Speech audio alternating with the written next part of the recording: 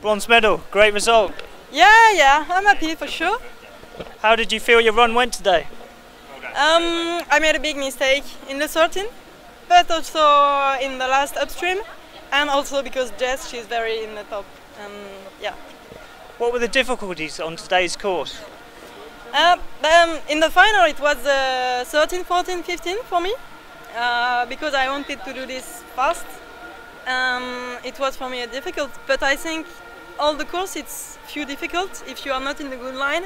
And I was in good line in the other spot of the course, except the last upstream. But so as I was in a good line, it was not so hard. Um, as I missed the 13, 14, 15, it was hard for me. In the heats, you came through in last position. Has it been a slow start building up to this final? Yeah, but I, I turned this in my advantage because I have more time to recover and also the time to see the other boats paddling. Um, so I just planned with this. It was hard the qualification day because for sure I'm, I was asking myself what, but I was just happy to stay to be in the semi-final and after to be in the final for sure.